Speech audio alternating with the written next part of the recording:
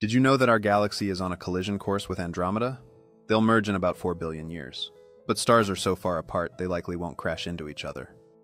Imagine a cosmic dance taking place over billions of years, where two immense galaxies become one. As they merge, the gravitational forces will pull them closer, creating beautiful new formations of stars and nebulae.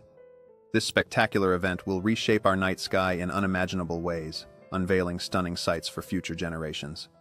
Did you know that despite the collision course, the sheer distances involved mean we won't see any dramatic impacts for a very long time?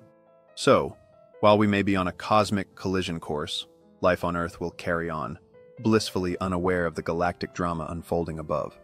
In four billion years, as they finally merge, new stars will be born from the chaos, lighting up the universe in ways we can only imagine.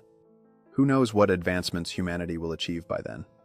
We might even witness this grand cosmic event unfold before our eyes.